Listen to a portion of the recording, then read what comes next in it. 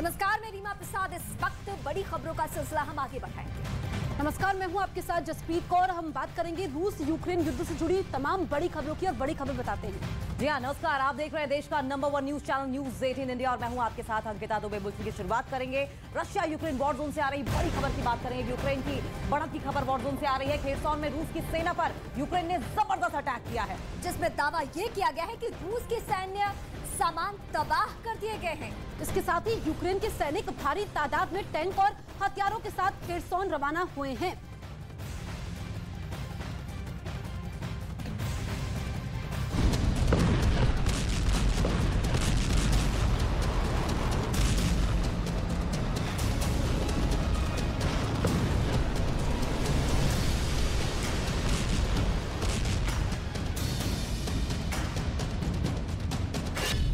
क्या जंग में रूस के पसीने छूट गए?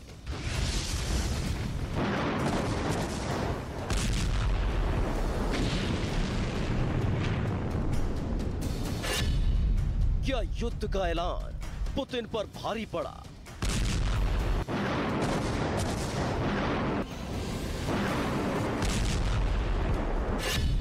क्या हार के मुहाने पर खड़ा है रूस?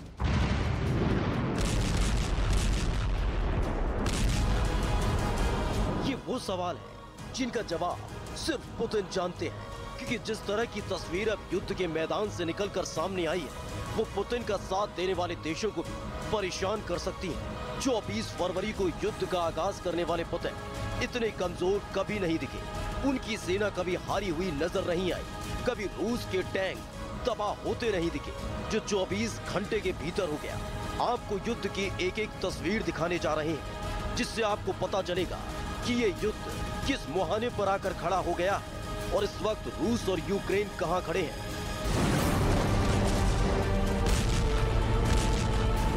हाल ही में पुतिन ने अपने सैनिकों को आदेश दिया कि वो खेरसोन में कदम पीछे हटा लें। इसके तहत अपने सैनिकों की तादाद भी रूस खेरसोन में कम कर रहा है, जिसे लेकर अंदेशा जताया जा रहा है कि हर तरफ़ मोर्चे पर मात खा रही रूस की सेना ने पुतिन को परेशान करके रख दिया है और वो कोई बड़ा कदम उठाने वाले हैं इसलिए यूक्रेन के कब्जे से खेरसोन छीन लेने के बाद, आखिर क्यों? वो यहाँ से अपने सैनिकों की तादाद कम कर रहे हैं। लेकिन इन सब के बीच, जेलेंस्की कोई मौका नहीं छोड़ना चाहते। यूक्रेन की सेना फूंक फूंक कर कदम रख रही है और पुतिन के ऐलान के साथ ही यूक्रेन के टैंक खेरसोन इलाके की तरफ़ पड़ रहे हैं।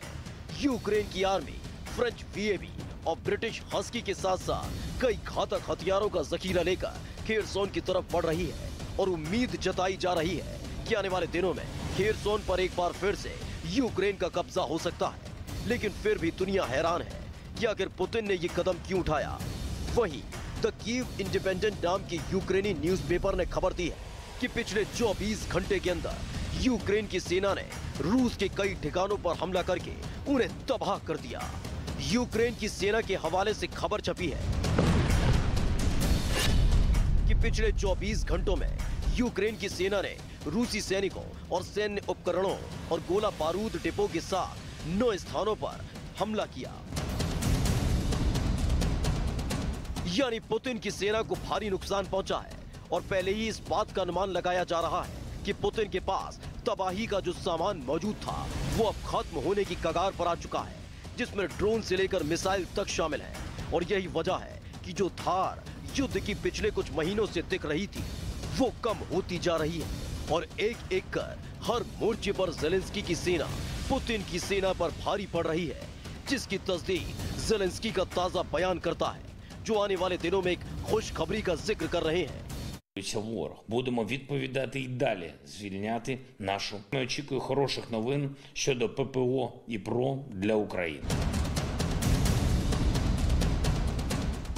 एक तरफ जेलेंस्की एक अच्छी खबर का जिक्र कर रहे थे तो वहीं एक वीडियो भी सामने आई जिसमें कुछ सैनिक रूस के झंडे को उतारते हुए नजर आए इस वीडियो को लेकर दावा किया गया कि ये वीडियो यूक्रेन और रूस बॉर्डर का है जहां यूक्रेन के सैनिकों ने अपनी मजबूती का प्रदर्शन करने के लिए एक पोल पर लहराते रूस के झंडे को उतार दिया।